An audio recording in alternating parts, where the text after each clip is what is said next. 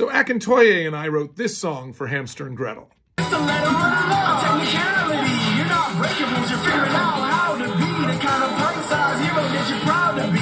Cause it's me, me, monsters, your reality. I got me. And suddenly, just coincidentally, all the writers were sending me this video that he had posted that went super, super viral. Please pull your head out your ass. And they were all like, We love this guy's voice. Can we write a part for him? Can he act? I was like, Probably. So I called him up and I said, I'm making a new show my way. Let me know if you're trying to be on that motherfucker.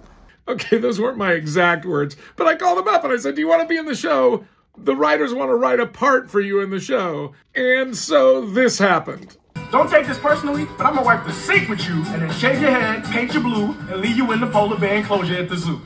Dude. So Akintoye is now in a Disney show, all because he posted a video called Please Pull Your Head Out Your Ass. And that's just how it happens in Hollywood.